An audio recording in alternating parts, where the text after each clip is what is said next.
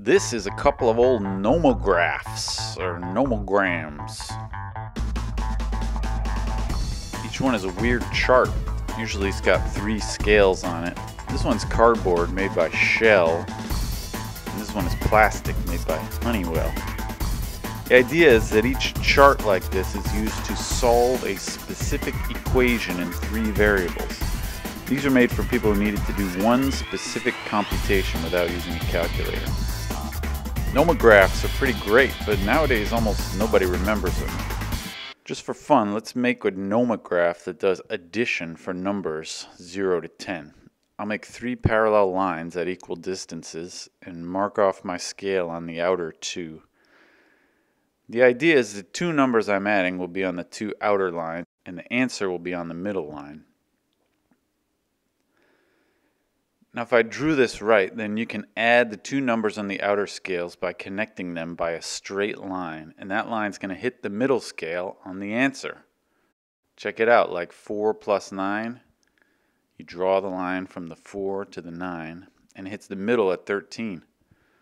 So the middle line adds the 2 on the outside. Technically, we say the nomogram is finding solutions of this equation with three variables. It's pretty sweet and it's easy to make, right? Hey, let's try to make one for multiplication. I'll make the two outer lines again, and this time I'm just going to label the middle one with the products instead of the sums. Actually, that's not really going to work. Like here, 2 times 8 that should be 16, so I'll mark that as 16. But that same point also connects the 3 to a 7. 3 times 7 is 21 though. So I guess maybe I just got lucky with the addition one. Turns out generally it's pretty hard to make nomographs for other types of equations. These things were first invented in the late 1800s by a French engineer named Philibert d'Ocagne.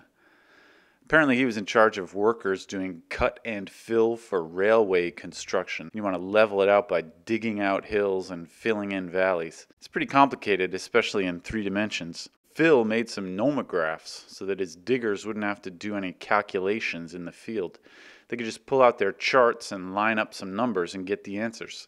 It's a pretty smart idea if you ask me. Now, this one that I made only does addition.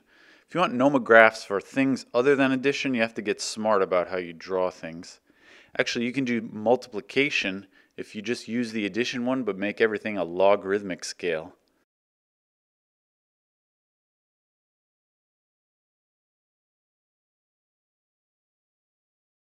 Here, check it out. 2 times 4 is 8. And 5 times 2 is 10. It really works. To get other functions, you can change the scale like I just did. You could also move the middle line around so it's not perfectly centered. That would change the function. Or you can make the lines non-parallel or even curved.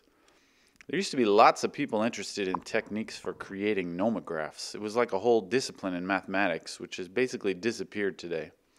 Here's one that I love for solving the quadratic formula. It comes from an old nomography book from 1923. So let's look at these ones that I have. This is a galvanometer circuit nomograph, which is used to solve something about galvanometer circuits, I guess. A galvanometer is some kind of machine, I guess. Measures some kind of something. Galvanometer. Here's the equation here, which the thing is solving. Looks a little complicated, but actually it's just dividing. I think it's just Ohm's law, but what do I know about electronics? This nomograph was printed by Honeywell, which was a major manufacturer of lots of stuff, including galvanometers. It's a nice plastic card. It looks waterproof, which is great for all your underwater circuit testing. On the back, we get a big chart, which doesn't make any sense at all to me, but it's fun. Hey, look, this column assumes zero source impedance. I mean, I know, right?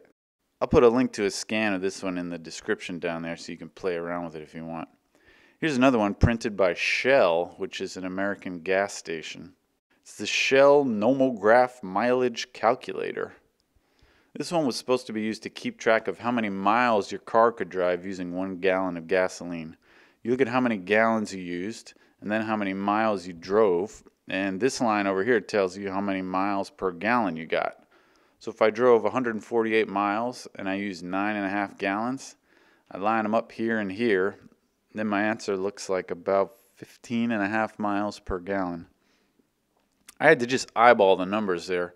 The real answer for those numbers is 16.4, which is actually pretty different, so maybe I should have been more careful. The best way to do this is not with a ruler like I'm doing, but with a super thin piece of string. Anyway, this chart is also just dividing, but they don't show the equation on here. They don't want to give away the secrets. This thing is less durable than the Honeywell one. It's just cardboard, but it seems to have held up pretty well. The other side has a little chart you can use to write in your statistics over time, plus some hot tips for good mileage. It says, do not exercise the gas pedal. I don't think I'd do that. I really like these things because of how hyper specific they are. All this one does is divide numbers, but you can only divide numbers from 100 to 480 by numbers from 8 to 24. Anything other than that, and you're out of luck. Same goes for this one. You can't use this for anything other than exactly what they laid out for you. So as a general purpose device, this has got to be one of the worst calculators ever. But for that one specific task that it was designed for, it's really uncommonly great. It's very simple to use, requires no calculations in your head. You don't have to type in numbers on buttons. It can't jam or break because it's just a picture, really. It's a chart that calculates. It's weird. People these days think that a calculator has to have electronics or at least some kind of moving parts. You know, the device needs to be somehow active. There needs to be some process in motion to produce the answer. Either the inside of the machine moves, or you move the machine, or some combination of the two. But it doesn't have to be that way. This thing is just a picture. The picture is a computer.